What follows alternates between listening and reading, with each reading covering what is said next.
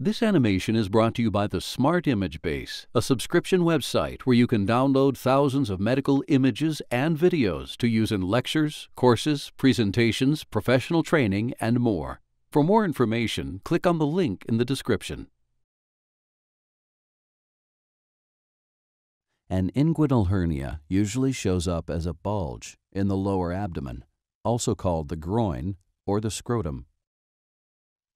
Before birth, a male baby's testicles grow inside his abdomen and then travel to the scrotum. To get to the scrotum, the testicles must pass through two openings, called the internal and external inguinal rings, and a passage between them called the inguinal canal, formed by abdominal wall muscles.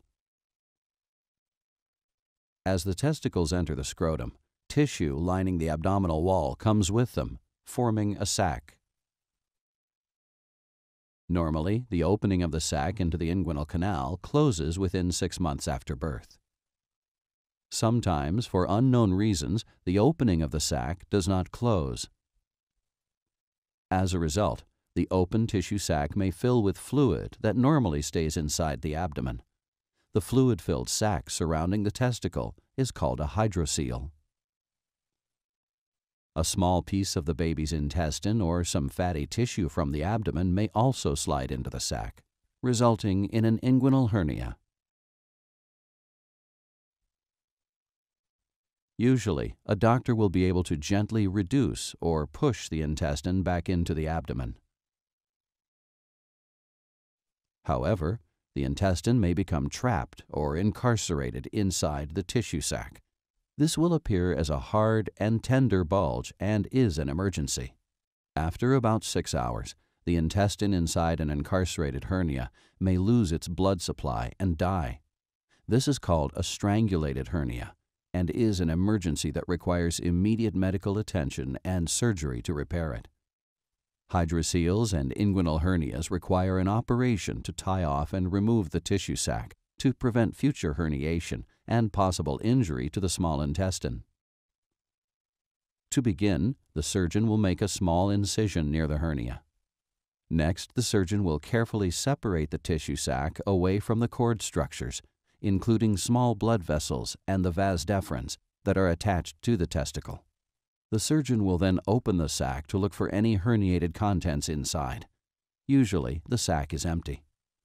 However, if herniated contents are present, they will be moved back into the abdomen. Sometimes, in children younger than two years of age, the surgeon will insert an instrument called a laparoscope through the open tissue sac. The laparoscope contains a camera that will allow the surgeon to look at the internal ring on the other side and see if there's a hernia on that side. If the other internal ring is open and there is a hernia, the surgeon will need to make a similar repair on that side.